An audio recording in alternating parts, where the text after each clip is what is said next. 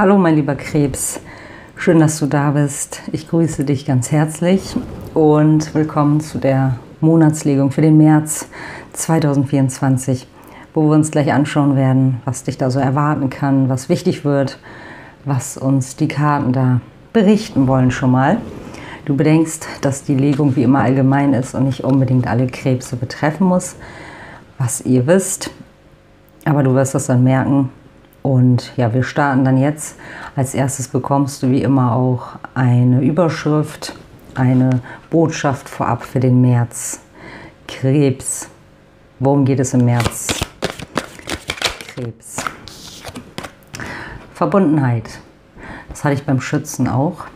Sich verbunden fühlen. Vielleicht geht es um eine Verbindung zu einem Menschen oder auch zu mehreren Menschen. Ähm, vielleicht muss man herausfinden, wohin man sich überhaupt verbunden fühlt oder wie man sich besser verbinden kann.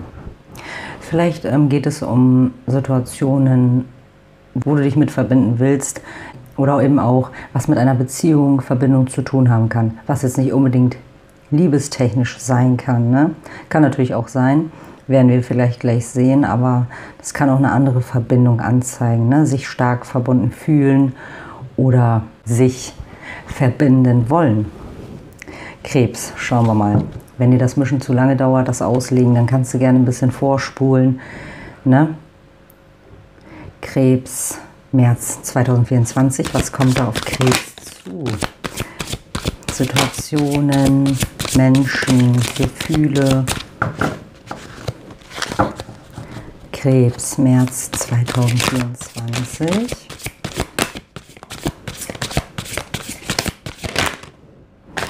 Mhm, will noch nichts raus hier. Krebs. Was kommt da auf den Krebs zu im März? Oha, der Teufel schon mal. Krebs. Weitere Karten. Krebs, März. Oh ja. Der Page der Kelche. Deine Energie. Krebs. März. 2024. Was erwartet den Krebs? Was möchte da auf den Krebs zukommen? Personen, Gedankengänge, Situationen. Krebs. Die wollen sich erstmal richtig legen. Krebs. Oh, wow, das Ast der Kelche. Weitere Karten für den Krebs. Drei der Kelche. Die Königin der Münzen. Krebs. Drei der Münzen. So, Krebs, März. Ritter der Münzen. Noch zwei für den Krebs. März und da haben wir so auch A3 sogar, okay. Der Page der Stäbe von der Rückseite, die Königin der Kelche von der Rückseite und Zusatzbotschaft der oder die die Königin der Schwerter von der Rückseite. Man weiß immer nicht, ist das der König oder die Königin. So. Mein lieber Krebs, so, zu Beginn hier der Teufel. Der kann jetzt mehrfach gedeutet werden. Also entweder geht es hier auch um einen Steinbock, das ist die Steinbock-Energie. Ne? Es kann sein, dass hier eine verführende Lage auf dich zukommt, ne? eine ähm, verwickelte Lage, beziehungsweise jemand, der da auf euch zukommt, ne? der Page der Kelche. Kann natürlich auch eure Energie sein. Wenn es jetzt zum Beispiel um einen Steinbock geht, muss jetzt nicht unbedingt, das kann auch Aszendent sein zum Beispiel oder Mondzeichen, Venus. Aber ähm, ja, man lässt sich verführen, beziehungsweise da kann jemand auf dich zukommen mit einem Angebot, ne? vielleicht auch mehr so eine Flirtaktion, sage ich jetzt mal. Ne? Der Page der Kirche, das ist eine jüngere Energie, das ist noch so ein bisschen grün hinter den Ohren, ne? sage ich jetzt mal, wo man sich vielleicht auch ein bisschen verleiten lassen könnte, was die Verbindung dann auch schon anzeigen kann. Ne? Und das Ass der Kelche, was da für die totale Fülle steht, was auch für einen neuen Menschen stehen kann im Liebesbereich. Jetzt, das ist jetzt eigentlich der allgemeine Bereich, aber die Liebe kann sich natürlich auch hier zeigen. Ne? So, das kann aber auch etwas anderes sein, Krebs, ne? wo man sich vielleicht auch zu verleiten lassen könnte. Bei einigen kann das wirklich sein, dass man sich ähm, verbunden fühlt oder sich verbinden möchte, was den Teufel auch so ein bisschen anzeigen kann, ne? dass man dann in einer sozusagen Abhängigkeit gerät, ne? sich verbinden, abhängig. Ne? Das kann auch etwas Neues für dich sein, wo du dich dann verbunden fühlst, sozusagen, was aber vielleicht erstmal mit Vorsicht zu genießen ist, auch wenn das aus der Kelche hier liegt. Ne? Aber wie gesagt, es kann erstmal eine Erfüllung anzeigen, dass man sich irgendwie emotional erfüllt fühlt, dass die Emotionen da sprießen, die Gefühle. Ne? Wir gucken mal, was ist hier mit dem Teufel, Page der Kelche, Ast der Kelche, Krebs. Kann natürlich auch um ein Wasserzeichen hier gehen, ne? Auch nochmal Fische, Krebs, Skorpion. Was ist denn hier los? Ach, da haben wir schon. Oh, die Engelsflügel. Oh, hier habe ich noch ein bisschen Creme. Verzeihung, meine Hände sind immer so trocken, deswegen muss ich die eincremen. Die Lilien und die Schatzkiste. Ja. ja. Kann sein, dass ihr da so das Gefühl habt, wow, da wird mir was von oben geschickt, ne? dieser Mensch eventuell, was die Leidenschaft erweckt, was die Gefühle aufblühen lässt. Das kann etwas sein, was dich wirklich total emotional erfüllt, ne? wo du da auch die Harmonie fühlst, ne? etwas Harmonisches, etwas Schönes. Und die Schatzkiste zeigt auch auf, dass es etwas ist, was einem erfüllt, ne? dass man da wie so ein Gewinn von haben kann. Ne? Das ist eine Belohnung, ein Gewinn, etwas Schönes, ein Schatz sozusagen für dich. Etwas Wertvolles, vielleicht bringt dir da jemand auch diese Wertschätzung entgegen, ne? wo man dann diese Wertschätzung, die Erfüllung bekommt, wo man sich wertgeschätzt fühlt. So, was haben wir denn da im Hintergrund? Krebs. 147. 12. Das sind die Eulen. Das ist diese Chaoslage, das ist die Unruhe innerlich, aber positiv, ne? Unruhig sein, nervös sein, das ist auch, ähm, ja, das kann die Freiheit anzeigen, ne? So ein Gefühl der Freiheit irgendwie, der emotionalen Freiheit.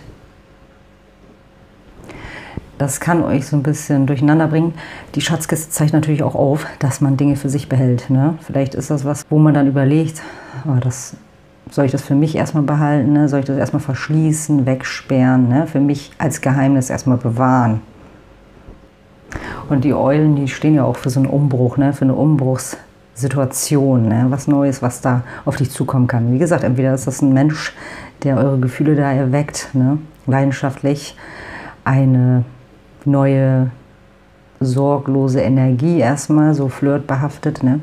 oder auch eine Sache, die euch emotional erfüllt, aber wo man sich schnell irgendwie verwickeln lassen könnte oder wo man selber vielleicht auch schon das Gefühl hat. Ne? Gucken wir mal weiter. Hier haben wir die drei der Kelche, die Königin der Münzen und die drei und die drei der Münzen. Hier zeigt sich so eine freudige Lage an, beziehungsweise ist ja auch die Feierenergie. Ne? Freude, Feier, Zusammentreffen, Spaß haben. Das ist auch die Emotionalität, die Gefühlswelt innerlich. Ne? Dass man da auch sehr gefühlvoll in einer Situation ist, aber auch gleichzeitig sehr geerdet, im Alltag beschäftigt, bekümmert, bemutternd und einfach auch auf dem Boden der Tatsachen bleiben will. Ne? Das ist Erdenergie, Stier, Steinbock, Jungfrau. In erster Linie kommt mir hier auch durch, dass du sowieso an etwas anderes dabei bist, dran zu arbeiten, an deiner Sicherheit, an deiner Stabilität, etwas gerade sowieso fertigstellst sozusagen. Ne? Vielleicht geht es auch um die Sache, dass man trotzdem stabil und sicher ist, weil man will vielleicht auch nicht zu viele Emotionen gleich zulassen, beziehungsweise ähm, man will sich da nicht direkt reinbewegen. Ne? Wenn das ein neuer Mensch ist zum Beispiel oder im Liebesbereich. Auch egal, wenn das auch eine andere Sache ist, ne? muss jetzt nicht nur die Liebe sein. Es hat etwas damit zu tun, wo du dich verbunden fühlst oder sich überhaupt damit zu verbinden. Ne? Du möchtest erstmal in dieser Angelegenheit einen sicheren Boden herstellen. Es ist ein Anfang, ne? wo man erstmal dran arbeitet. Es ist aber auch ein guter Anfang wo man die Sicht hat, dass es gut funktionieren kann, ne? die Zusammenarbeit auch überhaupt oder das hinzubekommen, das fertigzustellen, das überhaupt zu machen. Das ist auch die Kreativität, ne, die man dann freisetzen kann, dass man das Ganze auch kreativ sieht, selbst, dass man da selbst ähm, Pläne hat, Ziele hat, etwas im Kopf hat, ne, dass das Ganze gut zusammen funktioniert. Wir erklären das mal auf. Krebs. Ne? Du musst das in deine Situation ummünzen, wie es in deiner Lage aussieht. Drei der Kelche, die Königin der Münzen und die drei der Münzen. Was ist hier los? Aha, die Treppe und der Bär, ja. Aufstiegsmöglichkeiten das sind Etappen, die man geht, ne? die man wirklich voller Stärke geht, die man voller Stärke ausführt. Ähm, das kann auch ein Mensch anzeigen, der da wirklich versucht, etappenweise auf dich zuzukommen. Was du auch weißt, was du auch merkst, hier wird sehr viel Mut eingesetzt, Aktion, ne? dass sich jemand da wirklich auf dich zubewegen will, was aber erstmal mit Arbeit zu tun hat. Ne? Kann das funktionieren? Kann man zusammenarbeiten in der Angelegenheit? Oder aber es ist etwas anderes für dich wo du mutig Stück für Stück aber drauf zugehst. Ne? Ähm, vielleicht ist das auch sowas wie eine ähm, Chefposition oder auch eben so eine Aufstiegschance im beruflichen Bereich oder auch im alltäglichen privaten Bereich, ne? vielleicht auch Selbstständigkeit.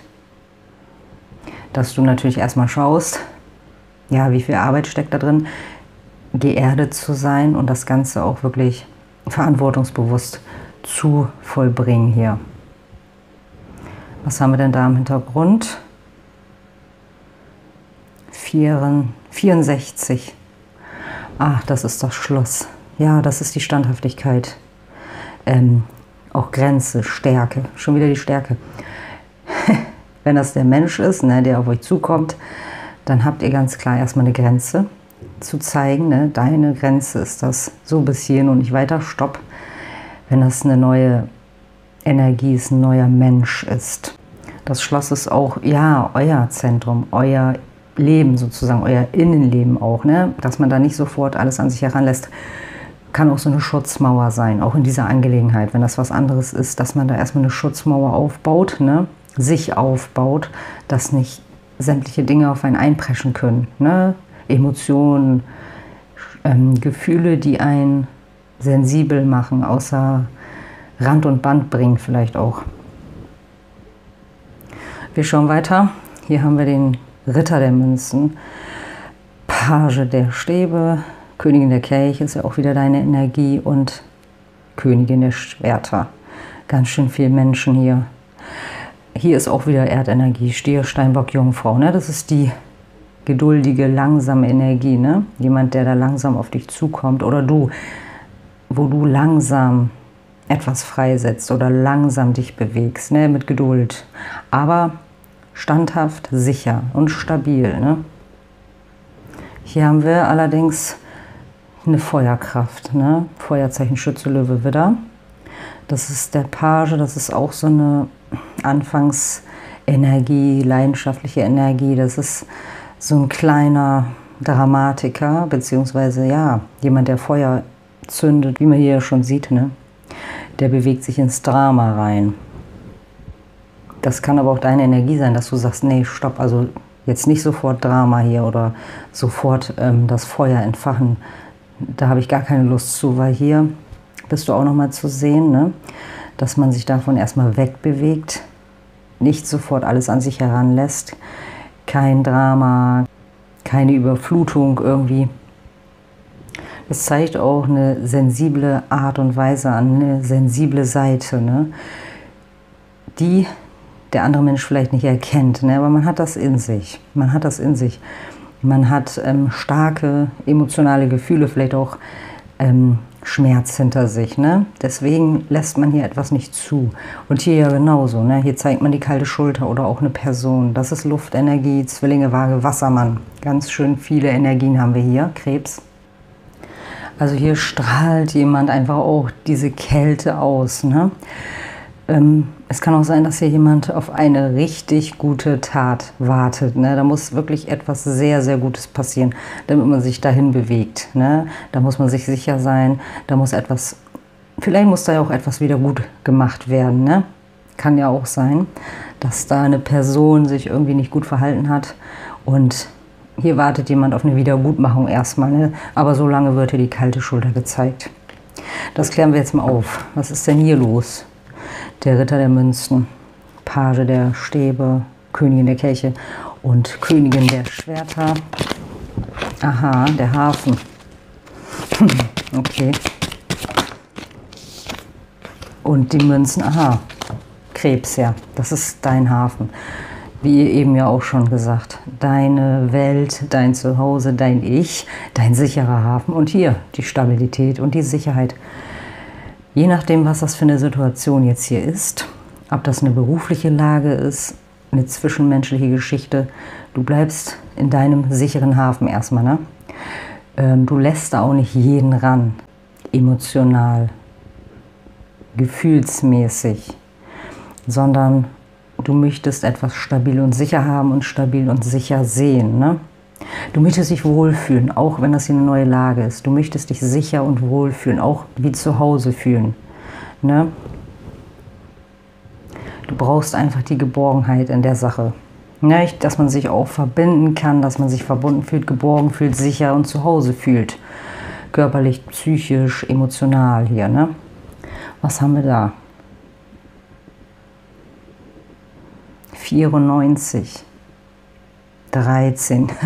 Ja, das ist das Kind. Ja. Bloß nichts irgendwie naiv sehen. Oder auch die Sorglosigkeit. Bloß nicht irgendwelche Sorgen an sich heranlassen. Ne? Deswegen hier die kalte Schulter. Krebs. Ich möchte keine Sorgen in dieser Angelegenheit haben, sagst du. Es wird immer noch leicht gesehen. Ne? Hier wird etwas noch nicht ähm, so tief betrachtet oder hier wird sich einfach noch nicht so stark verbunden, je nachdem, wo das jetzt ist, mit Menschen oder auch in dieser Angelegenheit hier, in dieser Situation, in dieser Lage, wo man drin steckt. Es muss erstmal stabil und sicher sein, ne? auch stabil und sicher emotional, stabiler Boden, ne? die Sicherheit haben, dass man sich auch wohlfühlt. Mein lieber Krebs, schauen wir mal, was jetzt noch die Seelenorakelkarte sagt. Eine Seelenbotschaft noch für Krebs März.